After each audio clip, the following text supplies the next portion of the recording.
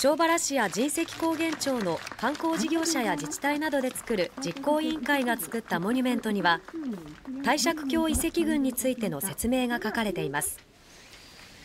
庄原市や神石高原町に広がる帝釈峡遺跡群は1962年から広島大学の発掘調査が始まり石灰岩の洞窟や岩陰を利用した石器時代の遺跡などこれまでに55の遺跡の存在が確認されています石灰岩地帯に立地していることから古い遺跡では残りにくい人骨や貝類が確認されるなど考古学だけでなく人類学などの分野からも注目されています遺跡群を知ってもらうため